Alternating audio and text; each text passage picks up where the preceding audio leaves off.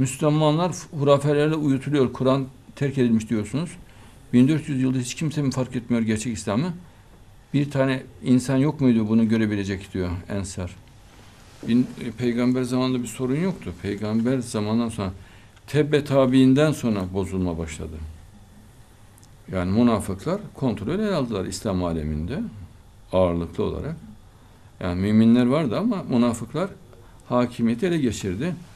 Ve sünni kaynaklardan Mehdi hadislerin hemen hemen tamamını çıkartmaya kalktılar. Onu da beceremediler. Şia sahip çıktı maşallah. Şiiler müsaade etmediler. Gizlice onlar mağaralarda orada burada sakladılar e, Şia'nın e, kahramanlığı, yiğitliği bilinir. Sünniler o devirde çok ezdiler.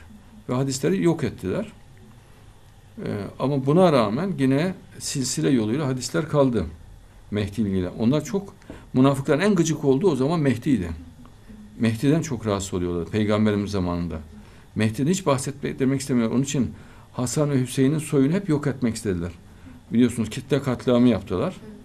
Ee, hepsini şehit ettiler ki Mehdi çıkmasın diye. Yani o soydan gelecek ya Mehdi. O soyu kendilerince kurutmak istediler ama beceremediler.